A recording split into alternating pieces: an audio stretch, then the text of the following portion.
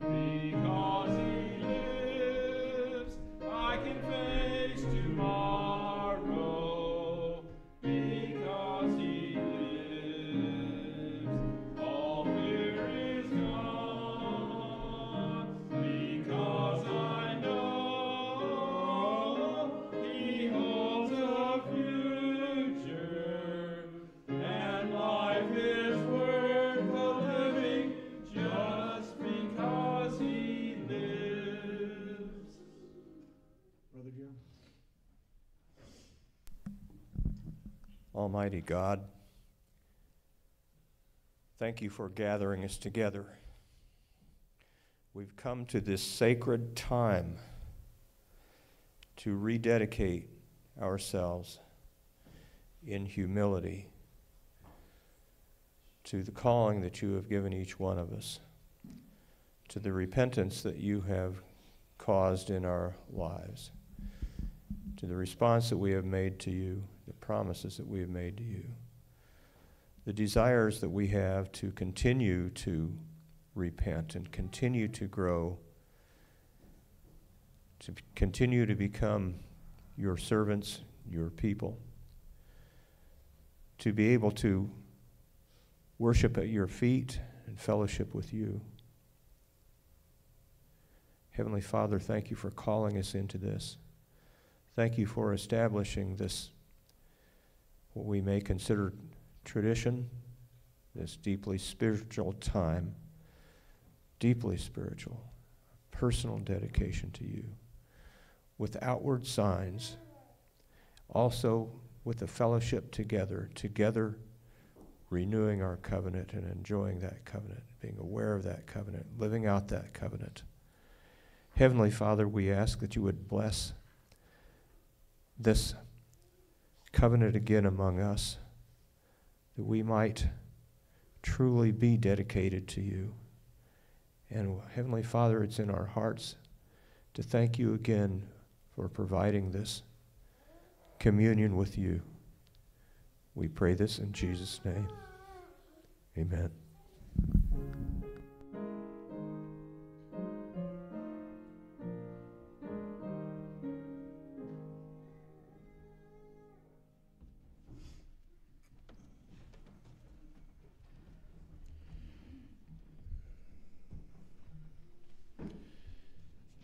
You know, sometimes I think we, yeah, we understand the significance of this. But in reality, when we reach forth to partake of the bread and of the wine, this is just as important as any other covenant we have made with our Savior. Yes, we were baptized, and that baptismal day was an important day. The gift of the Holy Spirit through the laying on of hands was an important day. Our marriage covenants are important days. This is a solemn thing. And it is just as important as any of the other covenants we have made with God. Because when we do this,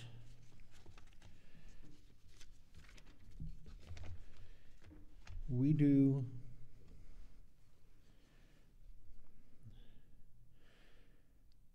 certain things and witness unto thee, O God, the eternal Father, that they are willing to take upon them the name of thy Son, and always remember him and keep his commandments, which he hath given them, that they may always have his Spirit to be with them. That's what we're witnessing before God when we partake. This is just as much a covenant, it's a contract before then. O God, the eternal Father, we ask thee in the name of thy Son, Jesus Christ, to bless and sanctify this. We're asking something. And so this is a contract between us and God. And then is our promise that there, we are willing to take upon um, us his name, the name of his Son, and always remember him and keep his commandments. This is the covenant that we enter into today.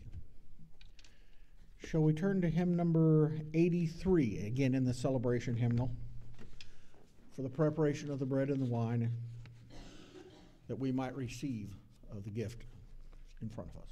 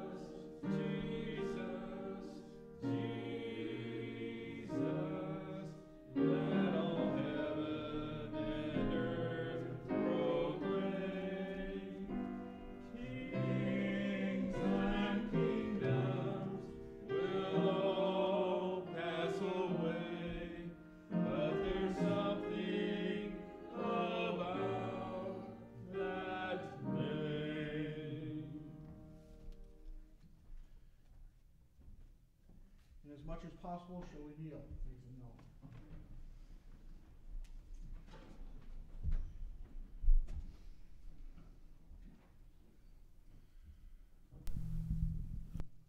O God, the eternal Father, we ask thee in the name of thy Son, Jesus Christ, to bless and sanctify this bread to the souls of all those who partake of it, that they may eat in remembrance of the body of thy Son, and in witness unto thee, O God, the eternal Father, that they are willing to take upon them the name of thy Son, and always remember him and keep his commandments, which he hath given them, that they may always have his Spirit to be with them. Amen.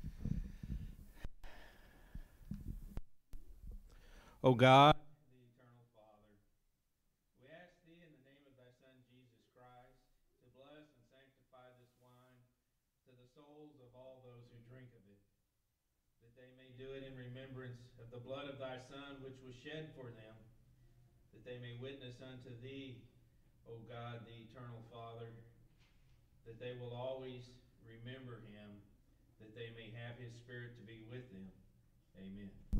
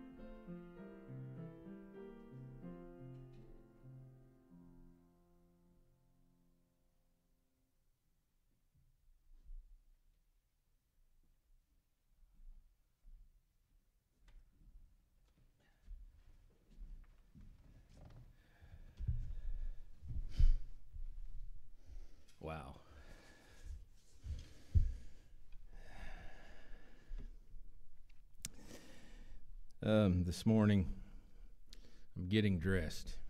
I'm just going to sh- just going to share with you what happened for me this morning. This morning, I'm getting dressed. It's Sacrament Sunday. This is white shirt, dark pants, dark jacket day, because that's what we do on sacraments for the most part.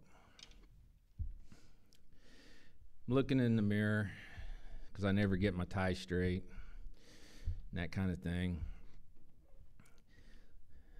Looks like I'm going to a funeral. And I'm sitting there thinking, I'm not going to a funeral. I'm going to a celebration of life. Why am I looking like I'm going to a funeral? Why am I wearing dark? I'm kind of of the school that fiesta and we go with colors.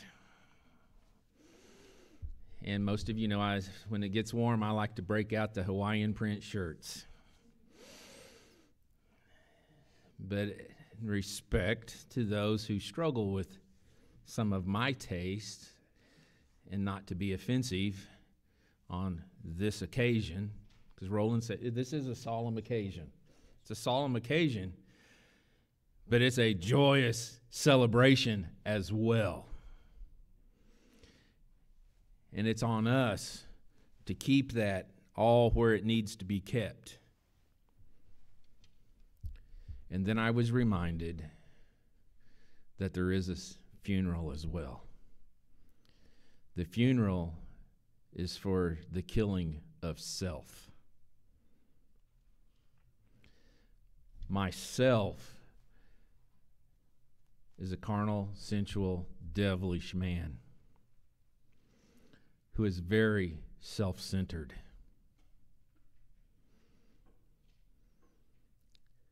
I want to do what I want to do. I want to do it how I want to do it, and I want to do it when I want to do it. And I don't want to be bothered by anybody else's details. I don't know if that sounds familiar to you in your life or not. That's up for you to decide. But in the killing of self, we have to look at ourselves and see what am I doing or what am I failing to do or whatever all that is. And in that process, we have to be very careful that we not allow the adversary to enter in and say, See, I told you you couldn't do it. You've confessed that sin every month for the last, or whatever timeline, for the last however many times. See, you can't overcome that. You should just give up.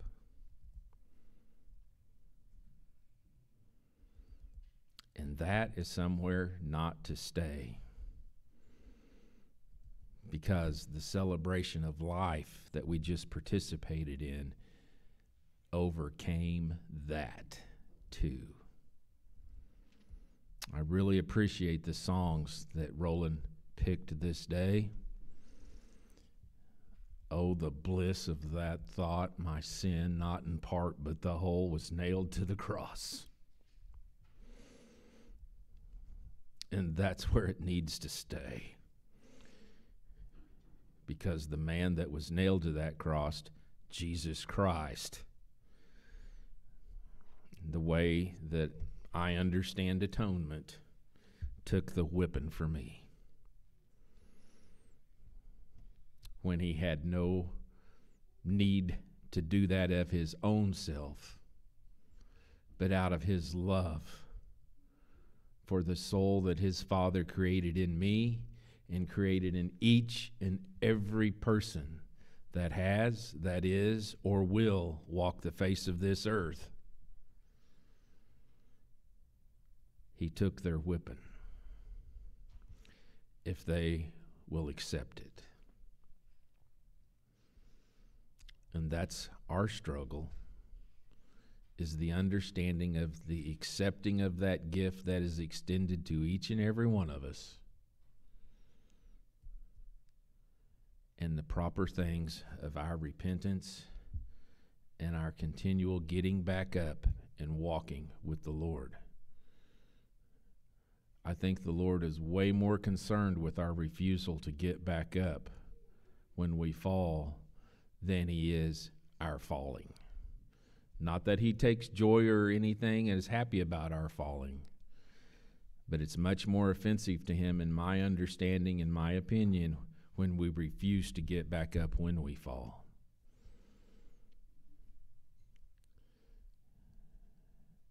And so today, I ask you to invite the Lord in in those moments when you need to look at your life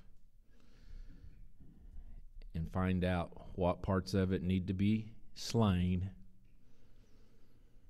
so that we can, you and I, can be His people. That we do it with Him, not in and of our own strength, because our own strength is not sufficient. It goes all over everywhere in that. And then when we've got the funeral out of the way, let's celebrate the life that has been extended to us. For truly, we have experienced that here this morning in the peace and calmness and stillness of this sanctuary. We got some wonderful little children bringing some noises in and everything, and that's life. Accept the life that is extended to us.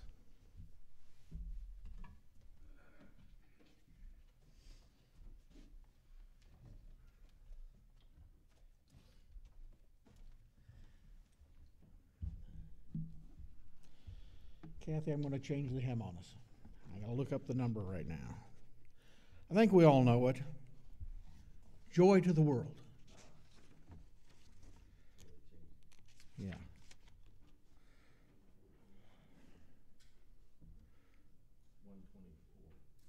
Yes, one twenty-four. Oh, I'm sorry. I forgot. An important thing before then. This is the day of the offer of, of oblation that we do. It is also other offerings we do. And you know, that oblation can help. Really can help. This year, um, find with our insurance and the way it is that our insurance costs us about forty percent between the time we do insurance deductibles and insurance. About forty percent of our income goes to our medical expenses. And first part of the year is when all the deductibles hit. And at the same time, we had some car repair or something we had to come up with. And I had to turn to Bill and say, Bill, I need a hand. This oblation's here not just for oh, only if you ever have huge problems. It's also there sometimes we need a little bump. And yeah, we we got some money back, and my personal opinion is we need to pay it back in tithe in in oblation, and we have been doing that because it wasn't very shortly after there we had several big paychecks hit all at once. But this oblation is there to help those who are in need from time to time. And all of us can find ourselves in need from time to time. This is one of the ways we can help those who truly are needed. Brother Bill, will you come forward?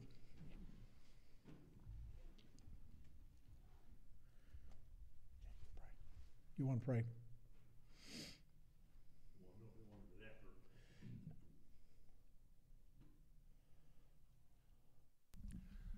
Oh, Heavenly Father, indeed we uh, recognize that we are all beggars, that you have given us all that we have, and as we try to um, remember how much love that you have poured into our lives, how much care that you have given to us, how many people that you have brought into our lives, we do just praise your name and thank you for it. But as we try to return a portion of that that you have given us, we do ask that you would indeed bless the givers and even the gift that it might be uh, more able to do what it is supposed to do, even as we try to be your people in that uh, all that we say and do rather than just say. So bless this offering, bless the people. We pray in Jesus' name.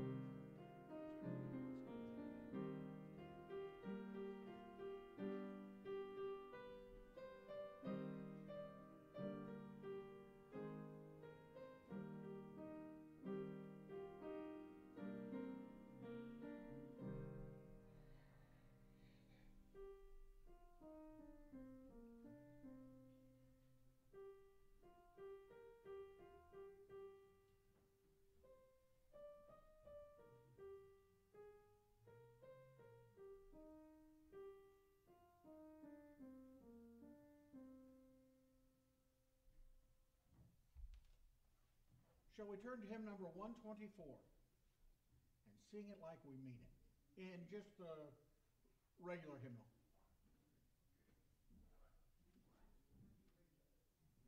Joy to the world.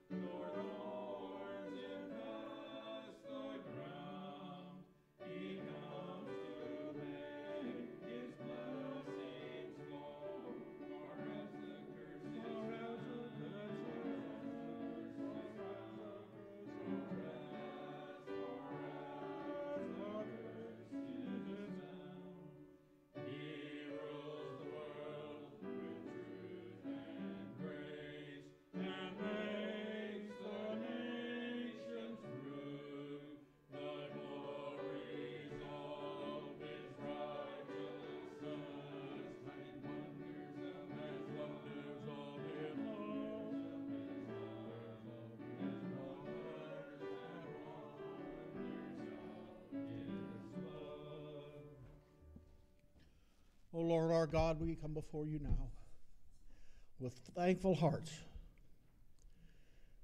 for the blessing of the gift of your Son, for the joy and the chance to come before you now and praise and honor you for it. O Lord, we plead before you now that you would make your sh- face to shine upon us, that the way be, may be lightened before us this day, to bring that we might follow you and bring honor and glory to your name. and the name of your Son, Jesus Christ, who is worthy to receive praise. In whose name we pray. Amen.